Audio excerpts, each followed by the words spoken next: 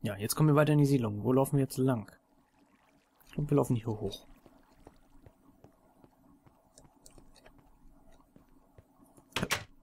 Ja, Schluck auf. Ein Gebäude, was noch leer steht. Wie viele von denen hier, weil die einfach nur erstmal so als Fassade dienen, dass wir so eine Art Siedlung halt haben. Das wird alles später noch gemacht. Wie gesagt, das sind wir auch so, ich möchte nicht sagen Larifari, aber wir haben halt wirklich Bock gehabt, eine Siedlung zu bauen. Die ist auch durch Gemeinschaftsprojekt entstanden. Und äh, hier steht wirklich alles, alles noch leer. Ist halt nichts Besonderes. Ist nirgendwo irgendwas drinne. Es sind einfach nur Häuser, die zum späteren Zeitpunkt halt wirklich äh, ja bewohnt werden sollen, beziehungsweise erstmal vollständig gebaut werden mit Inneneinrichtungen und so. Von der Seite war es auch schon, dann geht's halt hier noch hier lang. Hier runter. Das ist ein Gebäude. Da sind wir jetzt auch noch nicht sicher, was das genau werden soll, aber es hat eine gute Sache. Es hat nämlich eine, Achtung, genau, eine Redstone-Tür. Noch in eins durchgehen. Von innen und außen gibt's den Eingang. Da mache ich jetzt aber nichts auf, um zu zeigen, wie das geht. Das können wir später machen. Aber das ist auch äh, nichts Besonderes eigentlich mit Redstone, die Tür. Wie gesagt, wenn man das halt nicht weiß, wie das geht, und mit Redstone kennen wir uns alle noch nicht so mega aus, weil da kann man wirklich ganz harte Sachen mitmachen. Ähm, ja, da kommen wir auch dann später zu. Wenn wir das hier wirklich weiterspielen sollten, großartig, für das Let's Play unter anderem auch. Also wenn, wir werden Minecraft auf jeden Fall sowieso weiterspielen, wenn wir privat drauf Bock haben. Ähm, ob wir das als Let's Play auch äh, gleichzeitig machen, das ist eine andere Frage. Das ist halt der Punkt. Wir noch, äh, ja, am Debattieren sind quasi. Weil wir viele andere Ideen und Projekte haben, die wir in den Vordergrund stellen möchten auf diesem Kanal. So, hier sind dann auch noch mehr Häuser. Alles noch nicht äh, mit Inneneinrichtung versehen. Sieht alles nicht besonders aus.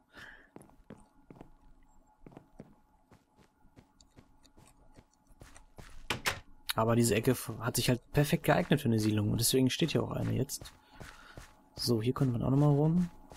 Hier waren wir gerade. Hier hoch konnte man nochmal. Dann gehen wir erst hier hoch, genau. So. Hier kann man nochmal lang. Überall Zugang zu den Häusern. Hier ist noch ein Eingang. Also ein zweites Stockwerk. Und für mich ist das gerade echt dunkel, das Spiel, denn draußen scheint richtig die Sonne. Ist noch ein wunderschöner Morgen, den wir hier gerade haben. Ich weiß nicht, wie das bei euch gerade ist. Hier ist auf jeden Fall gerade ein wunderschöner Morgen.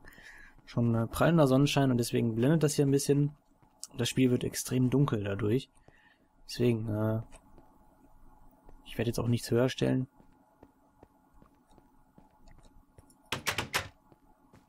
Wird ja eh gleich wieder Tag hier in Minecraft, deswegen, ja, alles immer ein bisschen unterschiedlicher gebaut, auch von den Materialien, sei es jetzt halt die Wolle da drinnen, als Teppich oder von außen die Steine, inklusive das Dach mit den Ziegeln.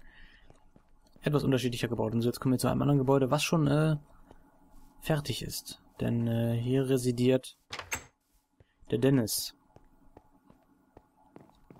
Und zwar hat er sich auch gedacht, ja, er baut sich auch mal eine, äh, blablabla. er baut sich auch etwas eine etwas modernere Bude. Oh Gott, heute ist echt Tag der Versprecher, ohne Scheiß. Das ist das war vorhin schon so, bei etwas anderem, was ich aufgenommen habe. Was es ist, oder was es war, werde ich natürlich noch nicht preisgeben. Ähm, ja. Das ist halt seine Bude. Von da Dennis. Ist meine Maus eigentlich zu langsam? Nein. So, hier geht's halt, hier waren wir schon, hier geht's nach hinten raus.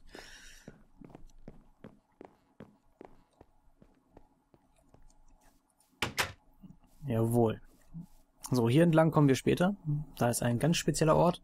Hier hinten haben wir aber noch etwas. Äh, von hier geht's, glaube ich, lang, ne? Ja. Auch von einem weiteren Gast, den wir auf dem Server hin und wieder mal haben. Nämlich dem Bruder vom Dennis, dem lieben André. Der hat dieses Haus gebaut hier.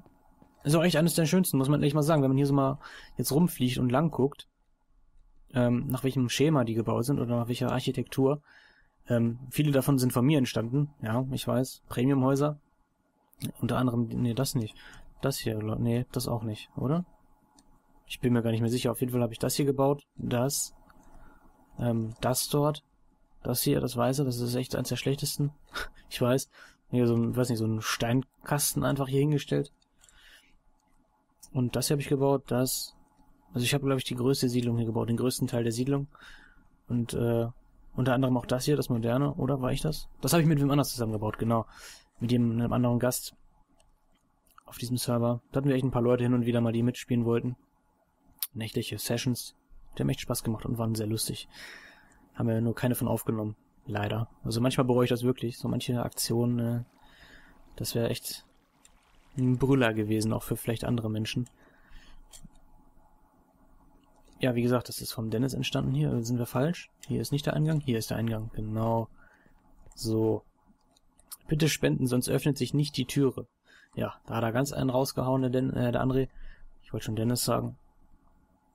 Bitte spenden. Was packt man denn hier sonst so rein? Was machen wir denn mal? Hier, ein Schleimball kriegt er. Ach, geht jetzt nicht. Kann ich nicht fallen lassen, oder was? Oh, kriegt er halt. Ey! Wie bitte? Ja.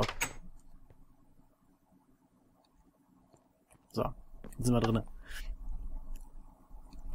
Gleich ein Kamin direkt, wenn du reinkommst. Schön mollig warm bestimmt. Kleines Küchenareal. Warum sage ich immer Areal?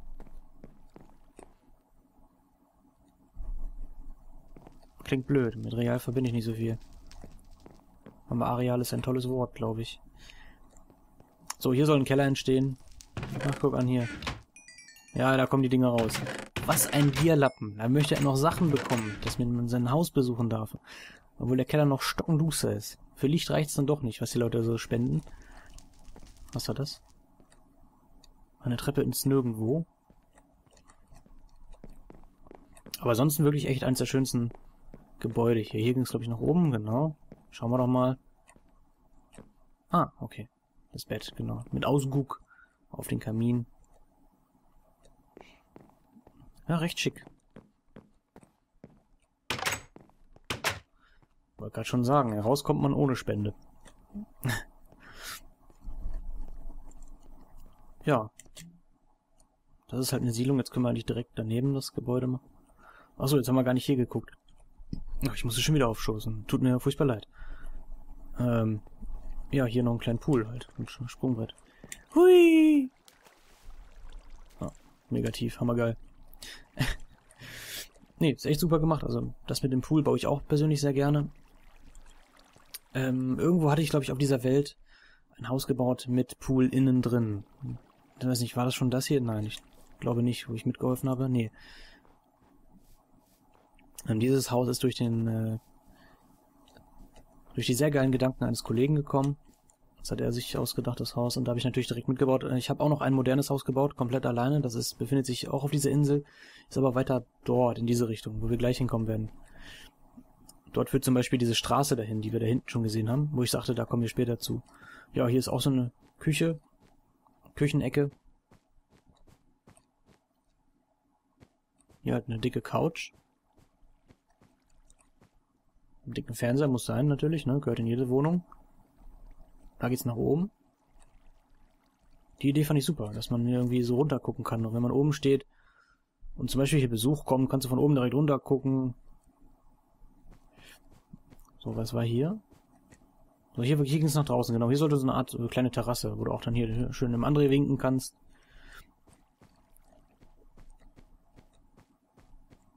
So, da ging es dann nach oben noch hier. Genau. Hier war noch nichts, aber hier war halt, glaube ich, Schlafzimmer, genau. Ein Riesenbett hingestellt. Da kann man nicht drauf pennen. Aber es sieht einfach gut aus. Und ist realistisch halt so ein ganz kleines. Muss man einfach mal sagen. Ja, von hier hat man auch eine relativ gute Aussicht, oder? Das ist jetzt hier nicht so toll, aber da kommen wir gleich noch zu. Da gehen wir als nächstes hin. Das ist nämlich ein Lokal. Also eins der Gebäude, die hier stehen, die auch wirklich schon eine ausgebaut sind von innen. Hm, da kommen wir nicht so hin, da kommen wir so dicht rum, da gehen wir hier lang. Auch noch nicht völlig fertig. Der Kollege hat dann auch, äh, ja, relativ schnell keinen Bock mehr gehabt.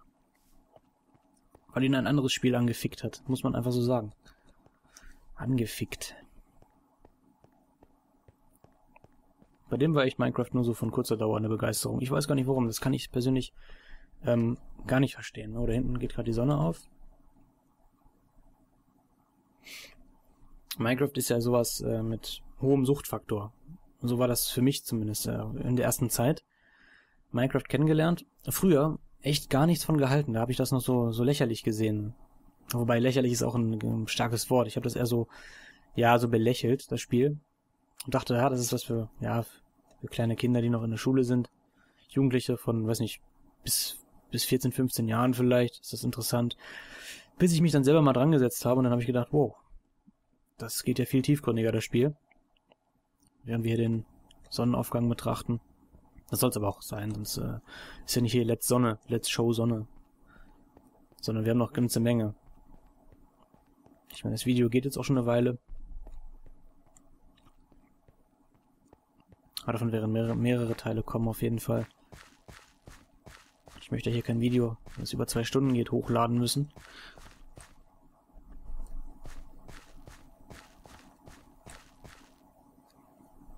Für die Leute, die natürlich alles in eins gucken, sehr interessant, ohne Unterbrechung weiterzuschauen. Aber im Aufwand für mich als Entwickelnden oder Produzierenden ähm, doch schon äh, aufwendig. Ja, hier mussten wir eine Menge Wasser, beziehungsweise äh, haben wir das ja irgendwie alles gesprengt. Und dann wieder versucht mit Wasser aufzufüllen. Also super gelungen, wie man sieht. Mit dem Plugin könnten wir das natürlich jetzt schneller machen. Da war aber noch jemand zu faul, denke ich. Also wir alle quasi. alle waren da zu faul für. Weil wir, wie gesagt, es ist wirklich kein Scherz. Ich weiß, ich wiederhole mich da jetzt mittlerweile auch schon zum wievielten Mal, keine Ahnung. Ähm, wir haben wirklich eine ganze Menge hier am Start. Und ähm, es ist wirklich so, du fliegst von einem Ort zum anderen, um da und hier mal weiter zu bauen. Weil du das noch siehst. Wie zum Beispiel das hier.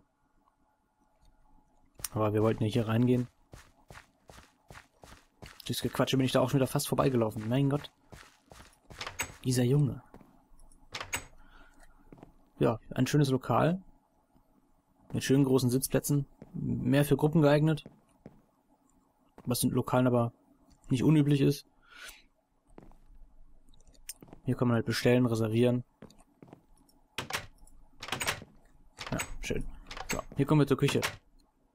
Und da muss ich erstmal dazu sagen, äh, wenn es jetzt etwas komisch aussieht, dafür gibt es ein extra Resource Pack, wie man neuerdings ja sagt. Ähm, was dann echt nach Küche aussieht. Also das hat dann richtig Texturen von einem richtigen, von einem richtigen Herd, von einem richtigen Kühlschrank. Das hier hinten sollte nämlich, nämlich mal ein Kühlschrank werden. Da waren dann auch Texturen dran, dementsprechend. Und das sah dann wirklich nach Küche aus. Da hat man sich dann wirklich äh, wie in einer großen Küche gefühlt, wenn man schon mal in einer war, so wie ich.